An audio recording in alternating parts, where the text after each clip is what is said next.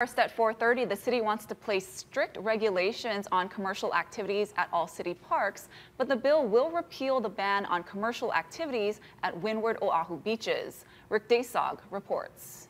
Even after the city passed a ban on most commercial activity on Windward Oahu beaches, some residents say that tour bus operators and wedding organizers continue to overrun their communities. There's a lot of rogue weddings and photography, and there was one this morning.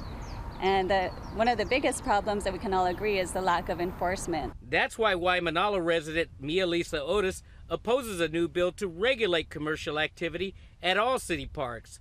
She says the bill also repeals the previous tour bus ban at Windward Oahu beaches. It's unfair that our voices are being silenced as we work so hard on the bill.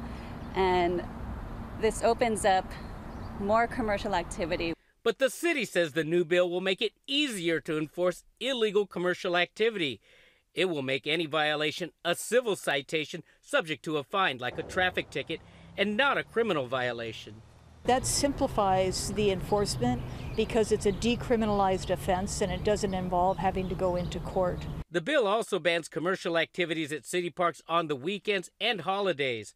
On regular weekdays, commercial activities at all city parks and not just the Windward Oahu beaches would come under new regulations. Tour buses with 12 or more passengers would be allowed to operate at most parks so long as they had a permit, but weddings would not be allowed. Filming by the movie and television industries would be allowed.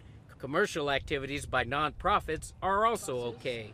If you set up things like the Greek Festival, the Department of Parks and Recreation permits those activities, they would continue to be allowed as long as the commercial aspect is subordinate to the primary recreational use. The bill is now before the City Council for discussion. Rick Daysog, Hawaii News Now.